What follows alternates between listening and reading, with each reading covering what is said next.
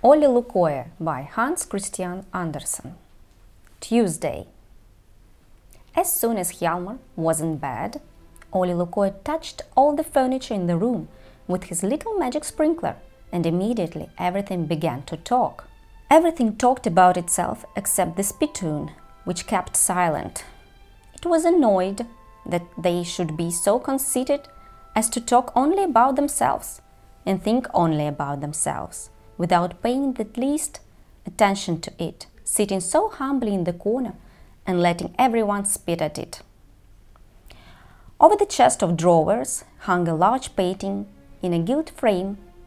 It was a landscape in which one could see tall old trees, flowers in the grass, and a large lake from which a river flowed away through the woods, past many castles, far out to the open sea.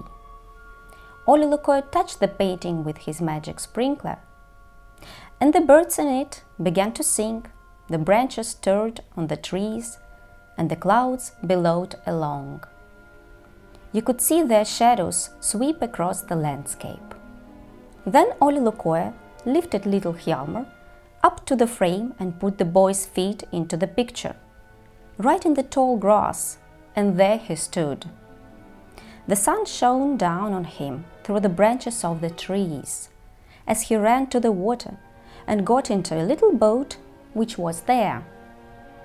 It was painted red and white, and its sails shone like silver.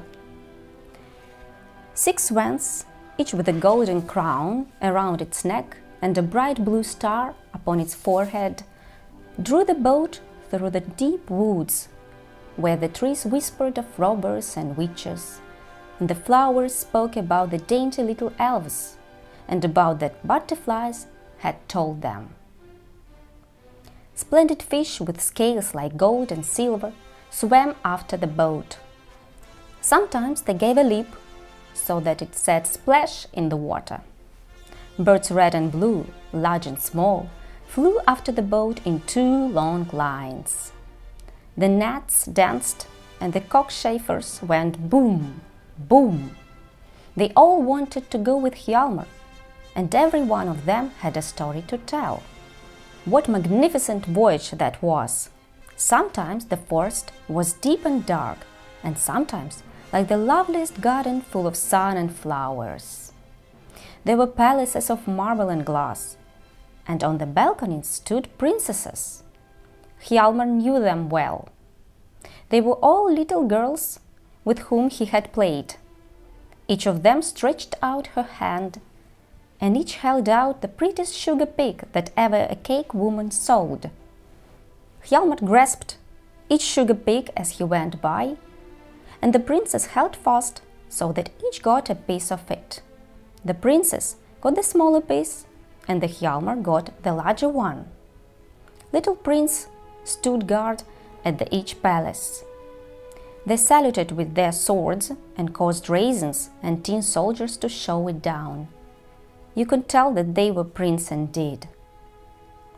Sometimes Hjalmar sailed through the forests, sometimes through great halls, or straight through a town. He also came through a town where his nurse lived, she who had carried him in her arms when he was a very small boy and had always been fond of him. She bowed and waved and sang the pretty song which she had made up herself and sent to Hjalmar. I think of you as often, Hjalmar, my little dear, as I have kissed your lips so soft, and your cheeks and your eyes so clear. I heard your first laughter and weeping, and too soon I heard your goodbyes. May God have you in his keeping, my angel from the skies.